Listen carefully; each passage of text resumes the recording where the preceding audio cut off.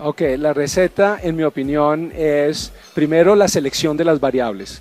¿Qué variables vamos a, seleccionar? ¿Cuáles son los proveedores eh, y sus tecnologías que me pueden ayudar a obtener los resultados de impresión que estoy buscando? Después, optimizar esas herramientas elegidas. ¿Optimizarlas en qué sentido? Optimizarlas en el sentido de potencializar su lineatura volumen, eh, potenciar el recurso humano, entrenamiento, capacitación, eh, determinar las viscosidades de las tintas, determinar eh, eh, el pH de las tintas, determinar las densidades de las tintas de los diferentes colores, los delta C, optimizar los sustratos, cuáles son los sustratos que vamos a utilizar, cuál es el proveedor, qué características requieren los sustratos y hacer test con los sustratos de densidades para determinar cómo se comportan los tonos de las tintas con esos aniloxes y con ese sustrato.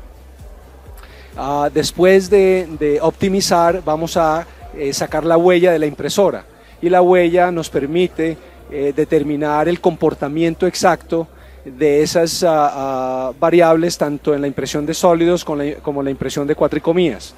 Una vez caractericemos, vamos a controlar el proceso a través de la documentación, llevando esos resultados a la preprensa y todos esos resultados obviamente van a ser numéricos y son numéricos. Después de la, de la, de la del control del proceso eh, a través de la sumatoria de, todos los, ah, eh, de todas las variables vamos a la caracterización.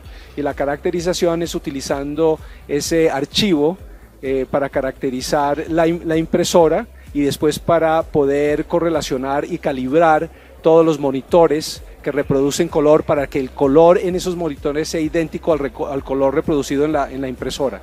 Y después ya vienen las mejoras generales eh, en donde eh, viene toda la parte estadística, toda la parte numérica, toda la interpretación de esos números, desde la optimización hasta finalmente la caracterización.